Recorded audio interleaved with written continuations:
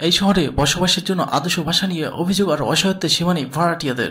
এইসব নিয়েই শহরের মানুষগুলিকে জীবনযুদ্ধ চালিয়ে যেতে হয়। ব্যতিক্রম শুধু জনপ্রিয় নাট্য অভিনেতা আরফান ইস্যু তিনি সিদ্ধান্ত নিয়েছেন, বাড়িওয়ালাদের সঙ্গে এইভাবে পরাজিত হয়ে আর নয়, তিনি একাই একশো তাই বাকি জীবনটা নিজের গাড়িতেই কাটিয়ে দেবেন। সেখানে তার নিত্য প্রয়োজনীয় সব জিনিসই থাকবে।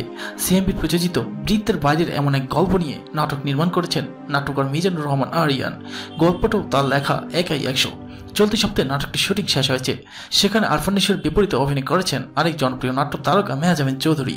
এই জুটি একসঙ্গে বেশ কিছু দর্শকপ্রিয় নাটক উপহার দিয়েছেন।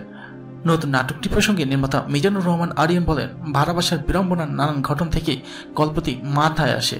যেমন দেয়ালে পেরেক মারা যাবে না, রাত এগারোটার মধ্যে গেট বন্ধ হয়ে যাবে।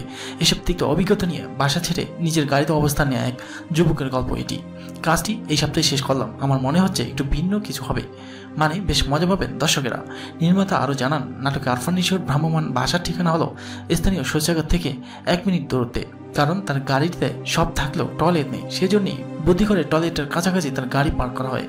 এভাবে নিজ গাড়িতে ভালোই চলছিল এই বিদ্রোহীর জীবন। বিপত্তি হলো, তার জীবনে একটি প্রেম আসে।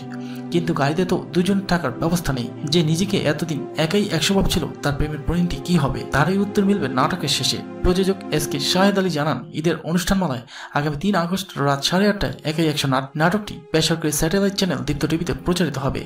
এর এক ঘণ্টা বাদে, অর্থাৎ সাড়ে নয়টায় সিএমবির ইউটিউব চ্যানেলে মুক্তি পাবে এটি।